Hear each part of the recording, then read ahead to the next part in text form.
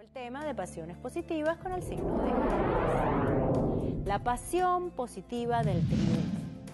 Todos queremos triunfar. No vamos a triunfar todos los días de la vida. De los 365 días de este año, quizás no triunfes en todos. El tema es que haya más triunfos que derrotas. Nos apasionamos por el triunfo y comenzamos a sumar.